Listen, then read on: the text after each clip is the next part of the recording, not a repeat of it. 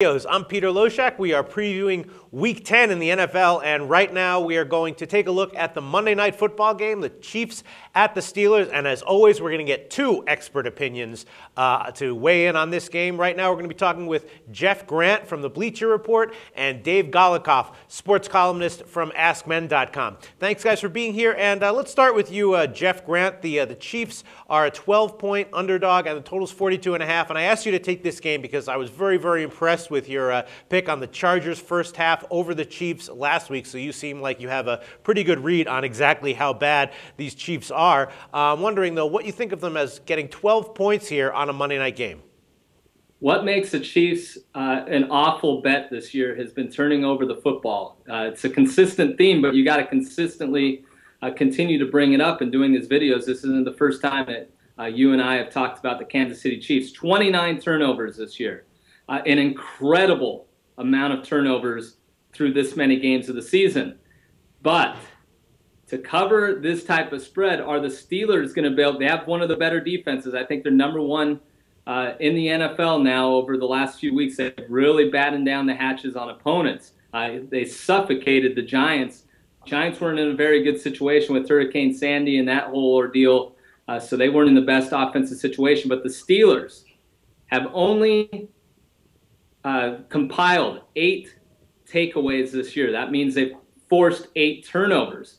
Uh, that has been something that I've kind of looked carefully carefully at the entire year because people were mentioning that yeah, the Steelers have a good defense, but they're not uh, getting the opponents to turn the ball over, and a lot of that has to do with Troy Polamalu.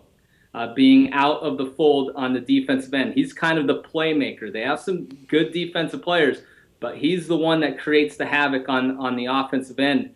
Uh, with that being said, I can't go against the Steelers, Peter, because there's a significant stat here.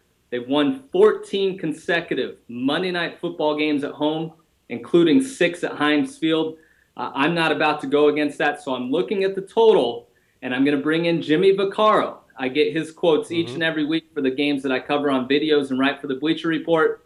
He expects a resounding win by the Steelers, which I kind of agree, but not exactly covering the spread. But he's given out a score of 37 10 Pittsburgh, and that kind of goes with my thinking of going over the total here. Yeah, and I have to think this is also going to be a huge public uh, teaser play. Anyone who's taken 10 point teasers uh, week after week is definitely going to put this one in, uh, in any teaser they have, wouldn't you say? Uh, definitely. And, and, I think you should play uh, that potentially with the Steelers and the over if you're looking to go in that direction. I yeah. mean, uh, that's the only way that I could really assume people to play it. Vegas really knows it. Obviously, with an inflated line, we've yet to see a double digit spread with the Steelers uh, team this year, so it's a little dangerous to play them with the full spread.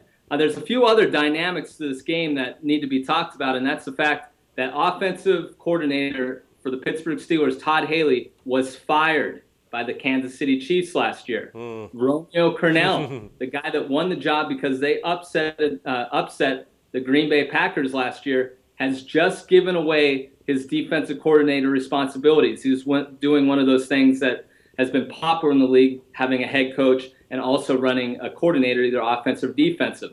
So I expect the Chiefs to not be as good on the defensive end, even though they haven't been very good, but they've been tested because the offense have put them in bad situations.